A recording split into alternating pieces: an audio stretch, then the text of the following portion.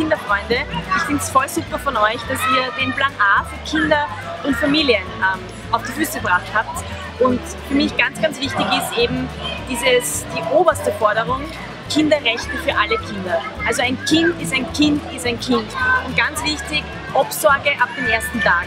Wir wissen, Kinder, die nicht in Österreich geboren sind und die geflüchtet sind und ein zweites äh, neues Zuhause hier in Österreich gefunden haben, ähm, die haben leider nicht dieselben ähm, Bedingungen wie Kinder, die da auf die Welt gekommen sind. Das ist ungerecht und das ist unfair.